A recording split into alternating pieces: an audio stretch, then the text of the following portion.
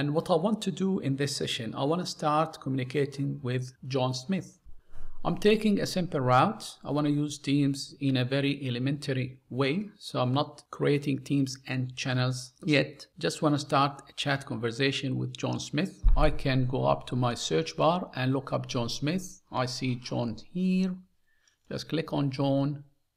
And then I will have the draft on the left hand side. This is my section area. This is the draft for John Smith. I have these tabs at the top here I have these icons on the right hand side. This is my conversation workspace. This is my message box and the controls I have at the bottom. Let me start with the left hand side and if I hover over John Smith here, the profile picture of John Smith, I see John's contact card. And this is one of the key concepts in Teams and across the Microsoft Office applications. So I see John's profile picture, I have his status. This is offline or last seen 13th of October. I have John's name, title, department. I can chat to John Smith. I can do video call, audio call, and I can also look up his org chart and LinkedIn profile. I can send John a quick message from here. And this area here helps me decide on the right communication tool I can choose to communicate with John. So last seen was on the 13th of October, free all day. This is coming from John's Outlook calendar. And then I have the time zone and the difference in timing or the time difference between me and John Smith. And if I move to the contact details here, this is John's email address, mobile number, work number, and location. Then John reports to Alice Williams. She's John's manager. I can show organization from here, which I'm going to get to in a second. And then I have LinkedIn profile here. And we have some different, like several possible matches for John Smith. I need to click on this one and sign in to select the right profile. Then uh, the LinkedIn section here will show me a couple of experiences for John Smith from LinkedIn. So it is a comprehensive snapshot of John's profile.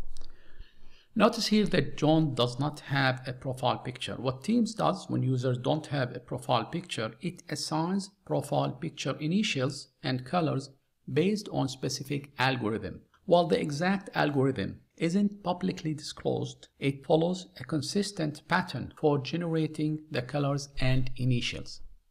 Now, the other thing to notice here between send a quick message and last seen a couple of things can be displayed here. The first thing is status message. So if you have a status message for user it will be displayed here. And the way to do it you can go to your profile picture and set status message. So this is your status message. If you have this set up in your profile then it will be oh, let's yeah it will be displayed here in this area. And the other message which will be shown here is the out of office. So status and out of office messages will be displayed here for users.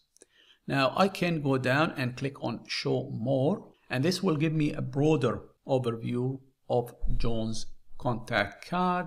So I can see that John works for Get Back to Basics company. If I go to this is the overview which we've seen. So it was the overview. Now contact if I go to organization I can see the org chart for John Smith. So John Smith is the account manager in the sales department and Alice Williams is his manager. Go to LinkedIn.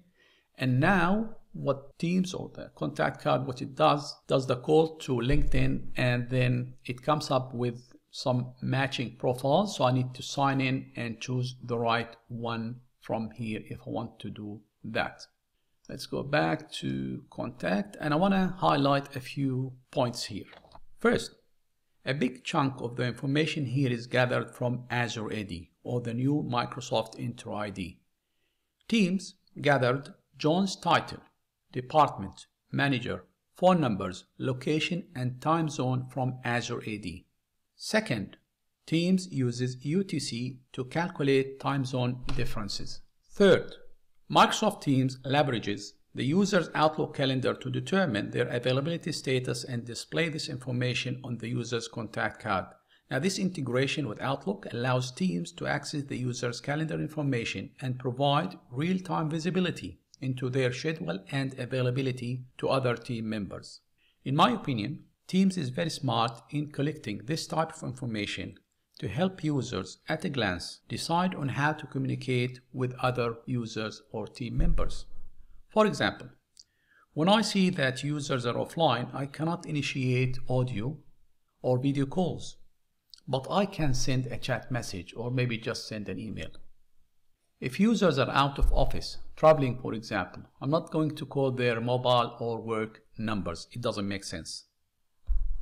Now, if I see users are online, I can initiate audio or video calls right from the contact card. It's very simple and straightforward. And finally, the time zone difference helps a lot, especially with global locations and companies that have their people scattered over different countries and continents. If your local time is 9 a.m. and someone else's local time is 9 p.m., chances are you won't start audio or video call with that person. It doesn't make sense. Probably you start chatting and then based on the response you can call or escalate the call to other means of communications. Now the best part, this contact card features integrated across other Microsoft apps like Outlook, SharePoint, and the Office suite. Now if I go back here and go to Outlook, for example, and let me do new email, and here let's do John Smith.